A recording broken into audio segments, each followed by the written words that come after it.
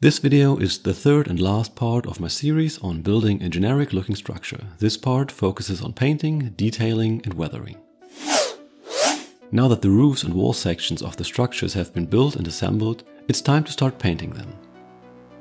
I used masking tape to protect the glue tabs and all the other places where the glue for the final assembly would go. Before painting with the actual colors, I used Vallejo 74.601 Grey Surface Primer, slightly thinned with Vallejo 71.161 Airbrush Thinner so the nozzle of the airbrush doesn't clog up too quickly.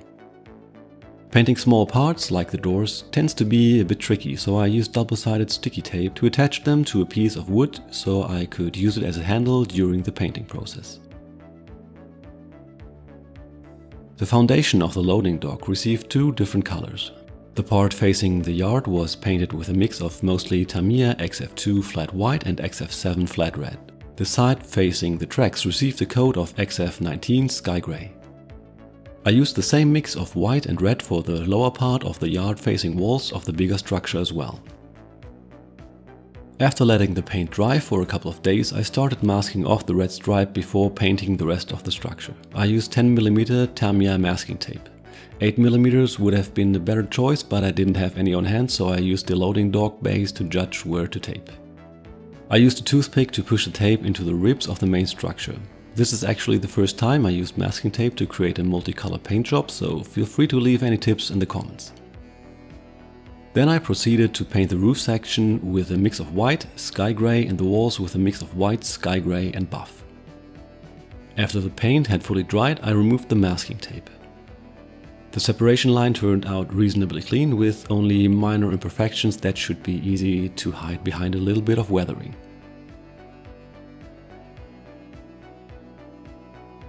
The doors received either a mix of sky grey and white or a mix of sky grey and white with a couple drops of XF52 flat earth. Now that the structure has been painted, it's time to prepare the asphalt lot. I've cut a piece of black 030 or 0.75mm thick styrene to the appropriate size. Before gluing it into place, I sanded the spot on the module and one side of the styrene with 180 grit sandpaper. Since I've used solvent-based contact cement with styrene sheets before, I try to use it here as well, but polystyrene foam is a lot more sensitive to the solvents in the glue than the polystyrene sheets are, so I had to switch to odorless contact cement and wait a couple of days for it to fully cure.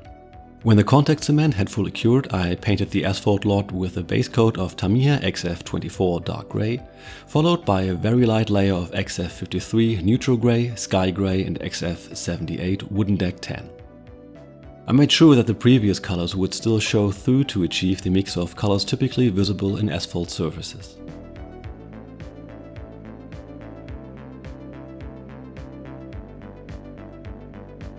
Now it was time to prepare the areas around the asphalt lot. I used regular wall paint marketed as gravel color and sprinkled a bit of rock powder into the half-dried paint to add a bit of texture.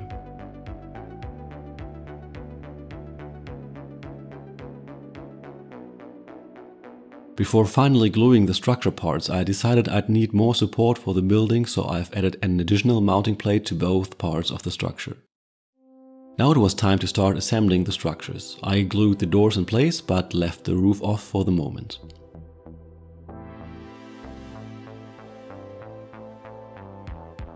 Then I drilled 3mm holes into the mounting plates for the bolts, making sure that I don't apply too much pressure while drilling.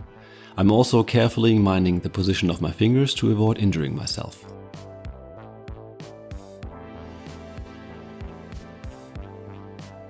Then I marked the positions for the holes in the module top using the holes in the mounting plates as references.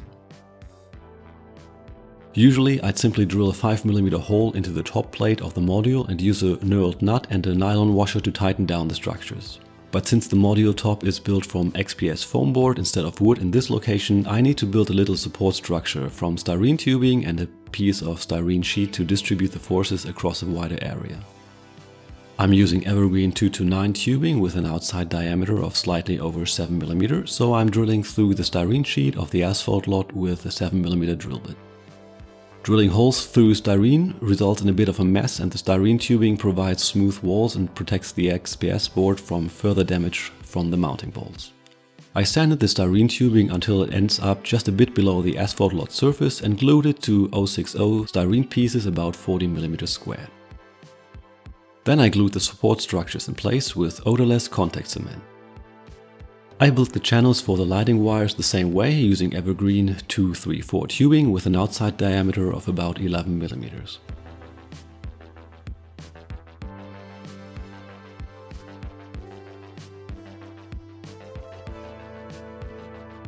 While I was waiting for the glue to set, I also glued the mounting bolts in place with contact cement. After tightening down the structures, I glued the roofs on to make sure that the final structure conforms to the ground sheet. Then I proceeded to solder the fence sections. I used 0.6mm steel wire as additional support for the fence.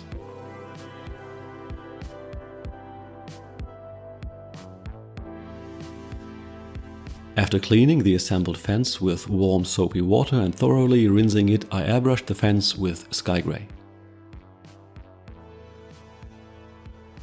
In order to install the fence, I drilled small holes into the plywood sidewalls of the module and simply pushed the steel wire supports into the foam everywhere else.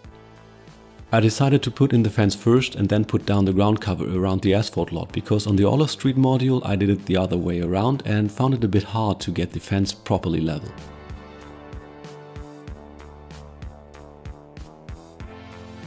First I put down the gravel around the asphalt lot and then wetted down the area before applying the diluted white glue.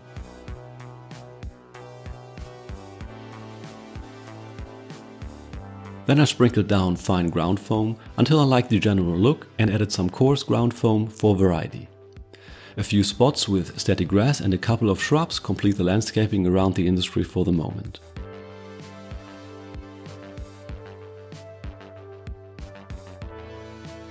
Then I started brush painting the electrical equipment with XF24 dark grey and glued it in place with CA glue. I painted the loading dock bumpers Tamiya rubber black. Before gluing them to the loading dock, I used a bit of sky grey on a brush with relatively stiff bristles to represent chipped paint on the concrete foundation before gluing the bumpers to the loading dock.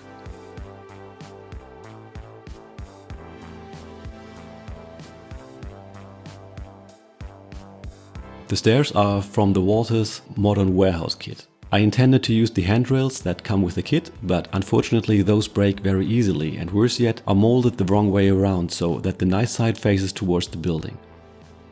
So I had to resort to building my own from 0.3mm spring steel wire. I painted it with Tamiya XF3 flat yellow before gluing it to the stairs. Since I went through the trouble of building gutters for the roof of the larger structure, I also wanted some downspouts as well. I also wanted them to angle away from the building at their bottom ends. I built the downspouts from Evergreen 132 styrene strips. First, I cut a short piece at an angle of about 30 degrees. This piece is longer than the bottom section will be in the end, so it's easier to handle when gluing the pieces. Then I cut the end of the styrene strips square again and then glued both pieces together. When the glue had set, I cut the bottom end to the desired length. I painted the downspouts with Tamiya XF 16 flat aluminium before installing them on the structure. I also wanted to try out lighting the inside and outside of the industry. For the exterior lighting I glued warm white 0402 LEDs into 3D printed fixtures which I painted with XF1 flat black. To mount them I drilled 0.8mm holes for the wires and secured them with a drop of CA glue which I applied with a toothpick from the inside. For the interior lighting, I mounted cold white LEDs into the ceiling. To prevent light bleed into the roof, I cut pieces of 1mm black styrene and glued them into the roof. Then I stuck the LEDs into place with strips of Kapton tape and put a drop of CA glue on the LEDs to fix them in place. After the CA glue had cured, I added 10mm strips of the black styrene to make sure that the light goes mostly towards the front of the building. To keep unruly forklift drivers from crashing into the electrical gear, I cut two about 20mm long sections of 0.6mm steel wire, painted them yellow and glued them into holes in the styrene ground sheet.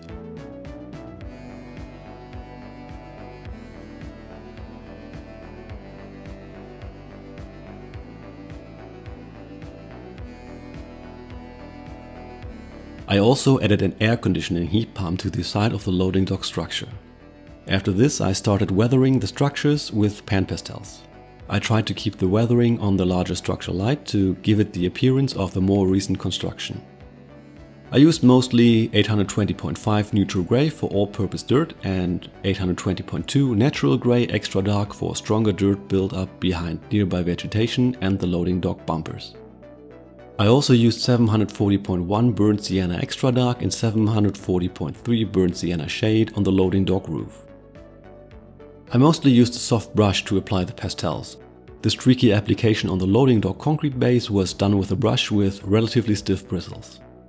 Generally, it's important to pay attention to the brush movement, meaning that the application should be vertical on roofs and walls and more of a stippling motion on horizontal surfaces to avoid streaky application in places where water would just pool up instead of running off. Then I sealed everything with clear coat and glued the windows behind the forklift gates in place with canopy glue using Evergreen 005 or 0.13mm thick clear styrene for the windows. This completes this project, at least for the moment.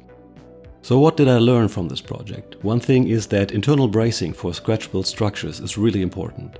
The front of the larger structure isn't quite flat. I started building the structures for the Olive Street module after this one and I built those with straight styrene strips at the top and bottom of the sidewalls and that worked a lot better. I think I'll also give up on internal lighting for the moment. The cold white LEDs I used are way too dim and way too blue. I thought the light color might work well for representing fluorescent lighting, but the color is just off. I'm still pretty happy with how everything turned out. Time to move on to new projects.